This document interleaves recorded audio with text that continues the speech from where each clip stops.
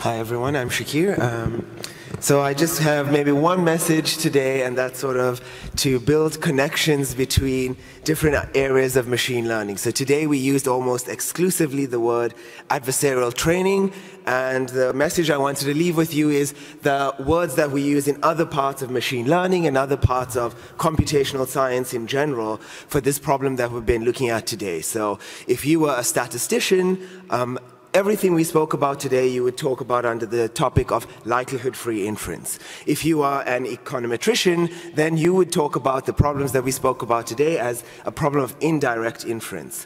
Um, in the book of Hastie and Tibshirani, everything we spoke about today, you would call that unsupervised as supervised learning.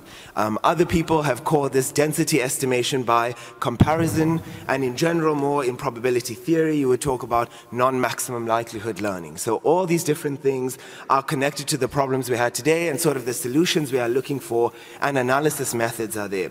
So to try and unpack, and so that was our motivation, to try and build these connections, to try and understand GANs better, and we had some fundamental questions in generative models that we wanted to try and address.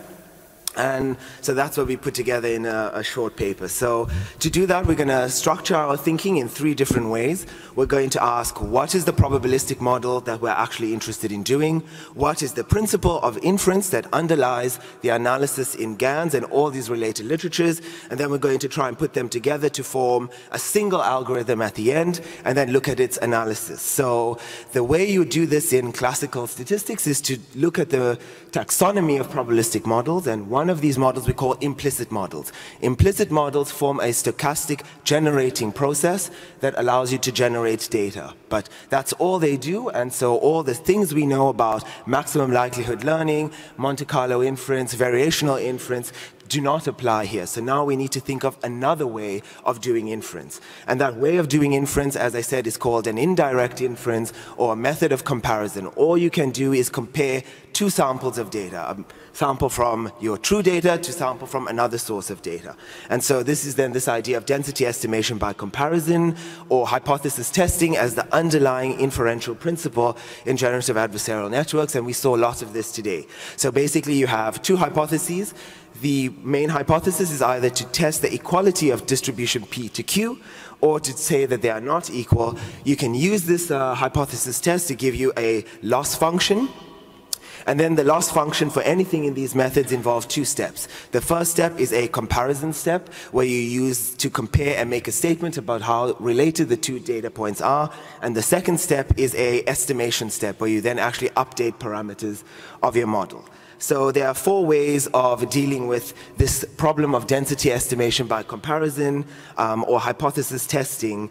Um, one way that you mentioned today was called the density difference way, where you compute this quantity R. And this is what Arthur spoke about earlier, and there are many different ways of doing this. If you look in the classical statistics, the generalized method of moments, or simulated method of moments, or as Arthur discussed, using um, maximum mean discrepancy, or some of the other very new areas of machine learning like optimal transport for in this area. In the other category, you have the density ratio methods, which look at doing testing by computing the ratio of P, the true data, to Q, the other data set. The most common way of dealing dealing with this is by class probability estimation. It's a very simple derivation to do. And this is the standard technique as we use in GANs, in uh, climate science, in ecology, and uh, in high energy physics. This is the way you would solve that problem. But you don't only need to use a classifier. There are other ways of doing this. Um, the F divergence is called the integrated Bayes risk, and you can use that approach, or you can do the Bregman divergence. And they're all related in different ways. And we have lots of references. Um, I guess the most critical one or interesting one to look at is the method of approximate Bayesian computation.